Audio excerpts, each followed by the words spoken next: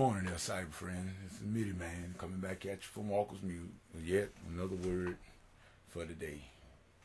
Yes, friends, it's Sunday morning.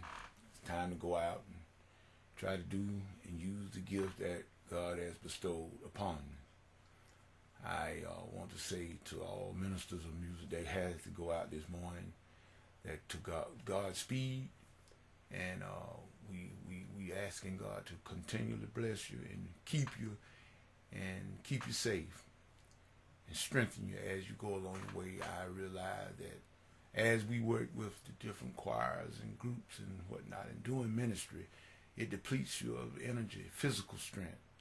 And we want to pray. We want to pray right now for all ministers of music.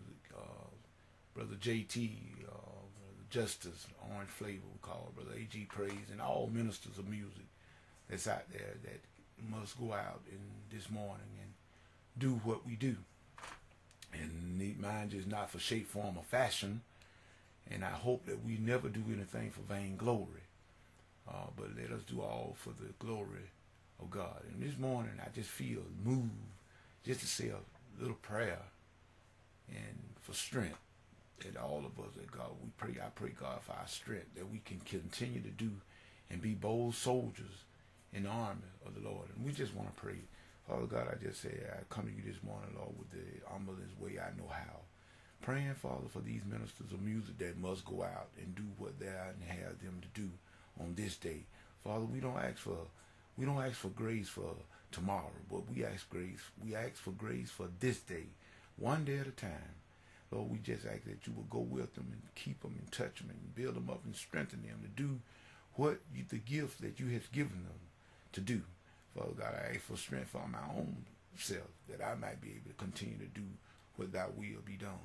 Lord God, we don't do things in shape, form, and fashion, and let us never be for vain glory. Father God, I ask all these blessings in Jesus' name. Amen. Okay, people, there we go. Little prayer, little power. Much prayer, much power. And I want to read scripture today some reason I just felt led to go here again. Like I said, we need we need to keep doing things until we get it right, people.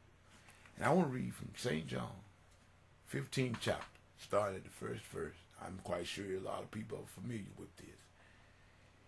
He said, I am the true vine, and my Father is the husbandman. Every branch in me that beareth not fruit, he taketh away. And every branch that beareth fruit, he purgeth it, that it may bring forth more fruit. Now you are clean through the word which I have spoken unto you. Abide in me, and I in you. As the branch cannot bear fruit of itself, except it abide in the vine. No more can ye, except you abide in me. I am the vine, you are the branches. He that abideth in me, and I in him, the same bringeth forth much fruit. For without me, ye can do nothing. Let's stop there. May God add a blessing to the readers, hearers, and doers of His holy word. People we see here in this here, Jesus' famous word about Him being the vine and we are the branches. People picture for yourself in the natural a tree, the vine being the trunk, and then the branches, the limbs of the tree that connect to the trunk. Now, I know that we all have seen limbs on trees that had died. In other words, either by the wind, where the wind, the weather had broken the limb off the tree and just hanging on and it's dead. And then you, whoever owned the tree have to come and purge. They cut that dead limb off of that tree because if it don't, it'll kill the whole tree. And a dead limb buried, no fruit, no whatever kind of tree it is. If it's a pecan tree, that dead limb will bear no pecan, even though it's on the tree. This is what Jesus was telling us, and I'm gonna move on because time is really far spent. This is what Jesus is telling us people that unless we abide in Him, we can't bear no fruit. Oh no, sir. No matter how we hard we try, all things that we do is futile. if we are not doing it in him. He said, for without me, in that fifth verse, you can do nothing. So this is this is what makes me, Midi Man, stay humble. Because I know that nothing that I do today, when I go out of here in, in, in a few more minutes, and I go to that keyboard, nothing that I'm doing, I could do it without him. Oh no, we may think that it's us, but it's not. We can do nothing without him. And he tells us in the scripture that God, his father, is the husbandman. In other words, he that bear no fruit, look at it said. He said, every branch in me that bears not fruit, he take it away. So you see, if you are not bearing fruit, it's a dangerous thing because you'll be purged or cut from the vine. And that's what we don't want. We don't ever want to be separated from Jesus. Because it's just like this keyboard that's sitting in front of me. If I take out the power source, if I unplug it, it's nothing. No sound is going to come out. It's good for nothing unless it's plugged up. So unless we are plugged into Jesus and we abide in him, and then even when we bear fruit, God purges it. In other words, he nudges and keep keep keep bending you. It's uncomfortable though, but yeah, but he want to get more fruit out you. So those are, I think, the little testing and trials that we go through. And the Lord allowed these things, and He purges in us to bring forth even more fruit. Because it's very, very hard, people, to deal with certain people.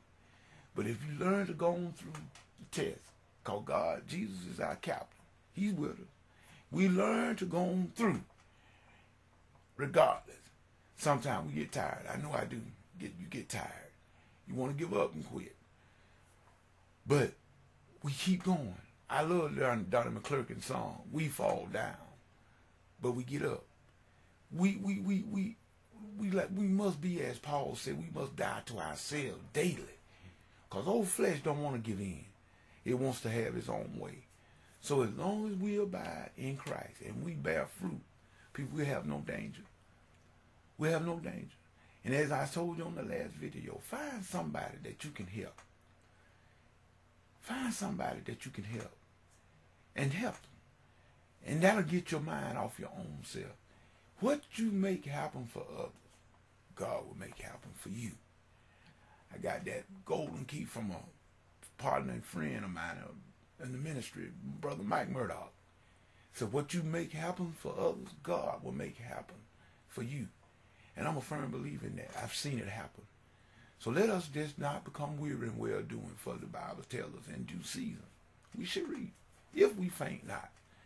So it's no sin, people, to get tired. It's no sin to want to quit. There's no sin in that. That's the human part of it. But let's get superhuman. We, as long as we're connected to Christ, we are superhuman. That means I can do all things through Christ. That strengthens me. This is Midi Man saying peace. Have a good day.